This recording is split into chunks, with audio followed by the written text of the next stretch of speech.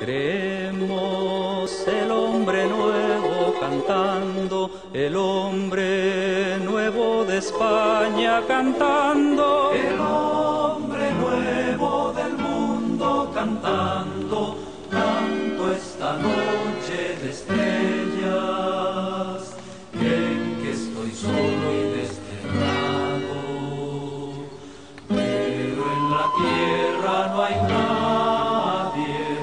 esté solo si está cantando. Al árbol lo acompañan las hojas y si está seco ya no es árbol. Al pájaro el viento las nubes y si está mudo ya no es pájaro.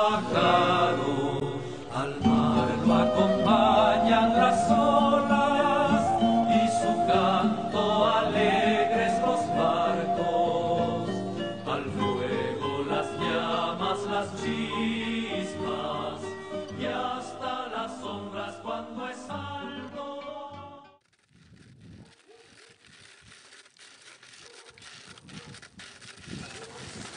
Sancho Panza había dejado a su mujer e hijos por irse como escudero de Don Quijote, quien le había prometido ser gobernador de una ínsula y de obtener riquezas en sus aventuras. Sin despedirse, ambos se fueron y así comenzaron la segunda aventura yéndose por el camino de Montiel. En esto descubrieron 30 o 40 molinos de viento que hay en aquel campo. La aventura va guiando nuestras cosas mejor de lo que acertamos a desear. Porque ves allí, amigo Sancho Panza, donde se descubren 30 o poco más desaforrados gigantes con quien pienso hacer batalla y quitarles a todos las vidas, con cuyos despojos comenzaremos a enriquecer, que esta es buena guerra y es gran servicio de Dios quitar tan mala simienta sobre la faz de, de la tierra. ¿Qué gigantes? Aquellos que allí ves, de los brazos largos, que los suelen tener algunos de casi dos lenguas. Mire vuestra merced, que aquellos que ahí se parecen no son gigantes, sino molinos de viento, y lo que en ellos parecen brazos son las aspas, que volteadas del viento hacen andar la piedra del molino. Bien parece que no estás cursando en esto de las aventuras. Ellos son gigantes y si tienes miedo, quítate de ahí. Y ponte en oración en el espacio, que ya voy a entrar con ellos en fiera y desigual batalla. Y diciendo esto, dio de espuelas a su caballo Rocinante, sin atender a las voces que su escudero Sancho le daba, advirtiéndole que sin duda alguna eran molidos de viento y no gigantes aquellos que iba a cometer. Non fuyandes, cobardes civiles criaturas, que un solo caballero es el que os acomete. Levantóse en este un poco de viento y las grandes aspas comenzaron a moverse. Pues aunque mováis más brazos que los del gigante Brairo, me lo habéis de pagar.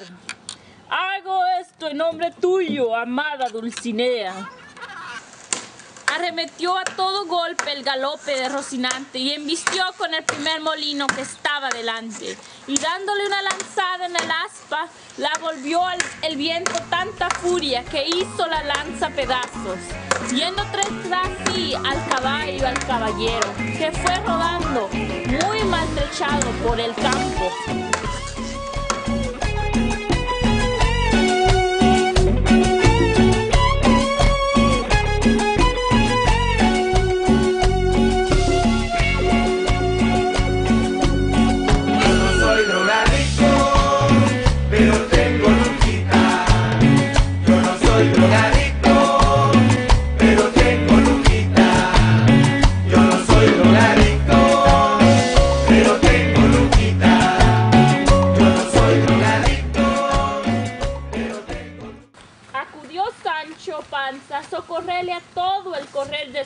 Asno, y cuando llegó halló que no se podía menear.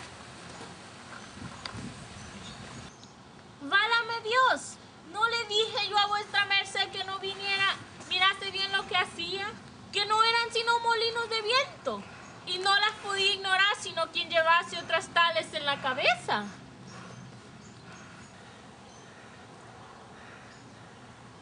Amigo Sancho, que las cosas de la guerra más que otras están sujetas a cuanta mudanza, cuanto más que ya pienso, y es verdad, que aquel sabio frestón que me robó el aposento y los libros, ha vuelto estos gigantes en molino, por quitarme la gloria de sus vencimientos. Tal es la enemistad que me tiene, más al cabo al cabo han de poder pocos sus malas artes contra la voluntad de mi espada. Dios le haga como puede.